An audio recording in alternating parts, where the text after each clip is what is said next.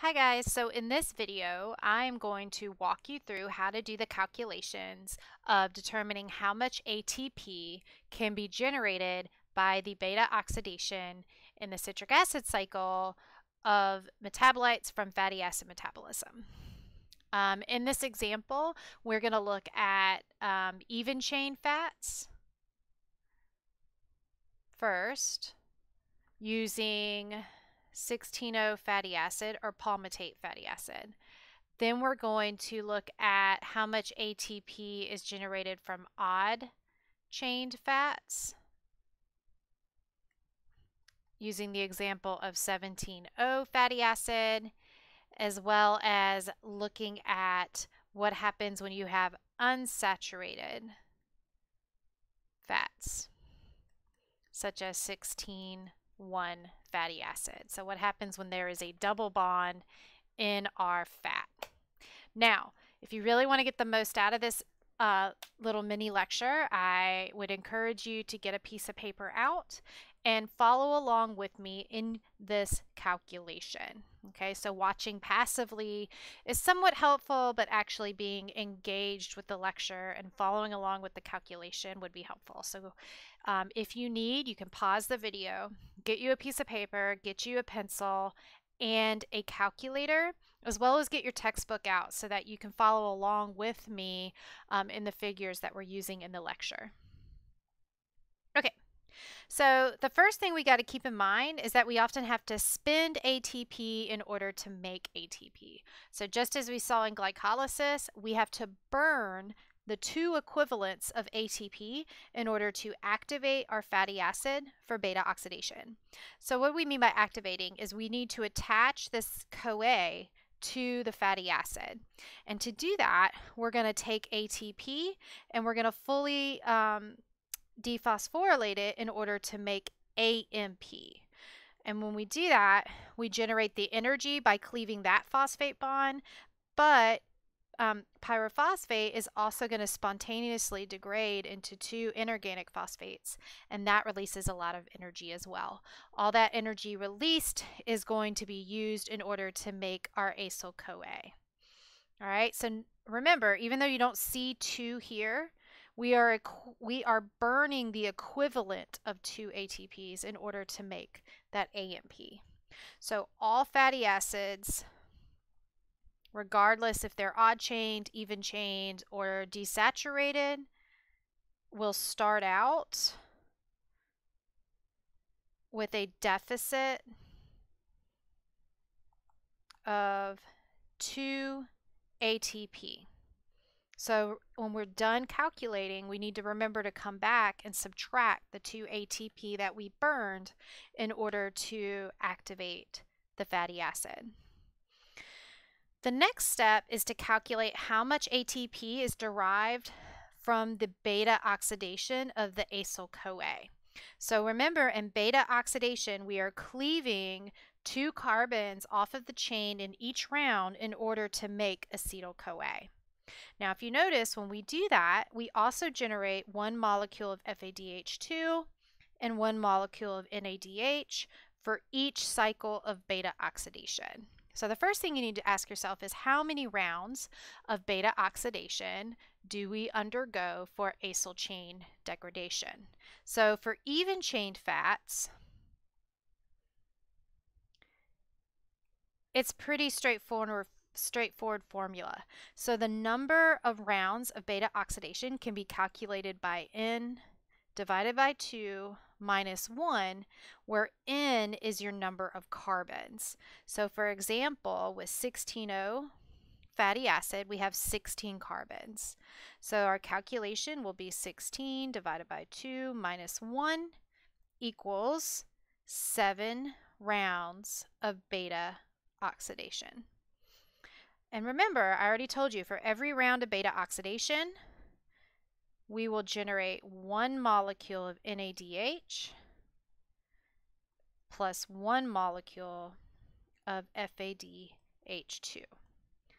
When we multiply that with how many rounds of beta oxidation our specific fat will undergo, For the 16O fatty acid, that's going to be 7 molecules of NADH plus 7 molecules of FADH2. Now remember, we also make 7 molecules of acetyl-CoA, and eventually we are left with another molecule of acetyl-CoA at the end. Okay? So total, we'll have eight molecules of acetyl-CoA that can go into the citric acid cycle. We'll look at how much ATP that generates in a minute. Let's go back to just beta oxidation. So if you recall from the electron transport chain, each molecule of NADH generates 2.5 molecules of ATP on average. So to figure out how much ATP total we get, we're going to multiply that by our rounds of beta oxidation. So 7 times 2.5. And remember, FADH2 generates 1.5 molecules of ATP. So in total, we can plug and chug 7 times 2.5 plus 7 times 1.5 is going to give us 28 molecules of ATP from beta oxidation. Okay? Now remember, we still have 8 acetyl-CoAs to account for. And those acetyl-CoAs can go into the citric acid cycle. So how much ATP do we make from those acetyl-CoAs going into the citric acid cycle? So for every one acetyl CoA, we generate one, two, three molecules of NADH, one molecule of FADH2, and one molecule of GTP, which can be converted directly to ATP.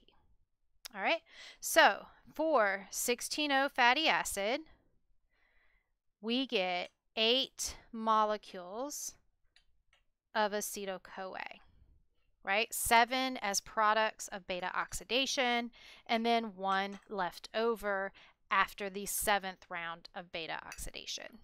So, eight molecules of acetyl-CoA times the three NADH for every acetyl-CoA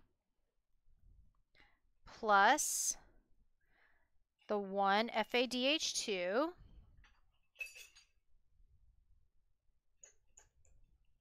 plus the one molecule of GTP, right?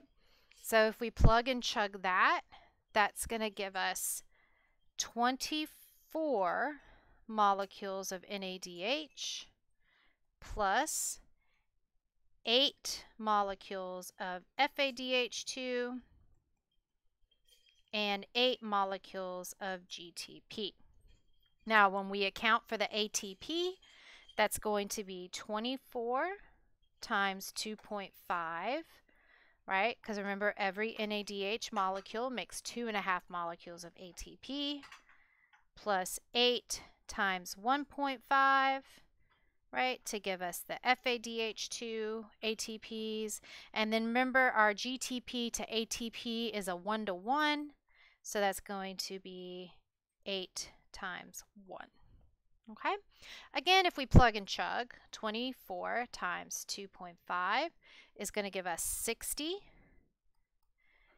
8 times 1.5 is going to give us 12 plus 8.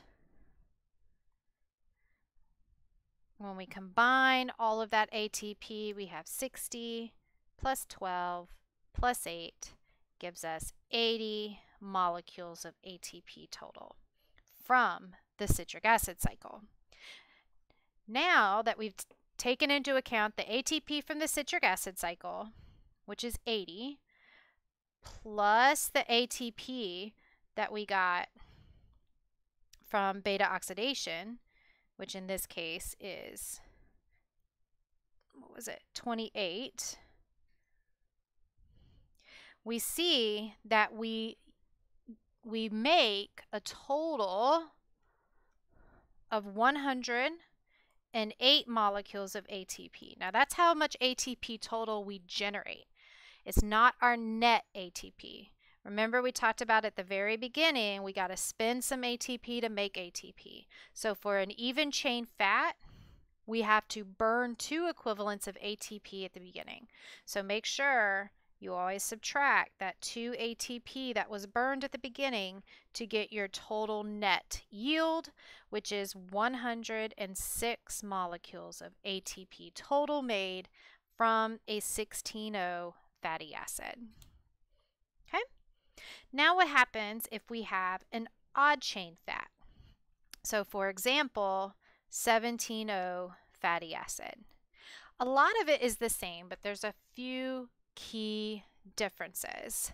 So the first different or the first similarity is that we still activate, right? Just all fatty acids are going to get activated. So we're going to still have an activation penalty of 2 ATP. Okay? The next question is how many rounds of beta oxidation do we have? Well, for 17O fatty acid, it's still going to be 7 rounds of beta oxidation. The reason is is to calculate the rounds of beta oxidation for an odd chain fat, it's going to be the N minus 1 divided by 2 minus 1. So for 17O fatty acid, that's going to be 17 minus 1 is 16, divided by 2 is 8, minus 1 is 7. Okay, so we're still going to have seven rounds of beta oxidation, which give us one molecule of NADH plus one molecule of FADH2 for every round of beta oxidation. Okay, the other key differences, though, at the end of that beta oxidation, you're going to end up with the seven acetyl-CoAs, right, which are products of each round of beta oxidation. But at the end of the last round, instead of having an eighth acetyl-CoA, two carbon long chain, you're going to have a three carbon long chain CoA called propionyl-CoA. Okay? Now, propionyl-CoA can then be converted to succinyl-CoA. Now, it does cost us another molecule of ATP. So we got to remember, we're going to lose another molecule of ATP in order to convert that propionyl-CoA to succinyl-CoA. Okay? So now our deficit has gone from 2 ATP to 3 ATP. Okay? Now, the 7 acetyl-CoAs can still go into the citric acid cycle just as we saw in the 16O fatty acid, but instead of having 8, we now have 7. So, it will be 7 times 3 NADH plus FADH2 plus GTP. Okay? Then the succinyl-CoA, however, can also go into the citric acid cycle. So if you recall from the citric acid cycle, succinyl-CoA comes in here at about halfway down the citric acid cycle. So while we do bypass two NADHs, we still make one molecule of GTP, one molecule of FADH2, and one molecule of NADH. So for the succinyl-CoA, we have one succinyl-CoA that makes one molecule of GTP plus one molecule of FADH2 and one molecule of NADH. Um,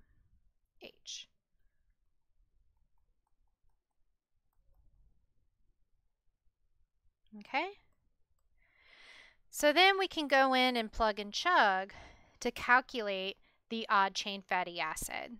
So we have in total 7 NADHs from beta oxidation plus 21 NADHs from the citric acid cycle from the acetyl-CoA and then one additional NADH from succinyl-CoA going through the citric acid cycle.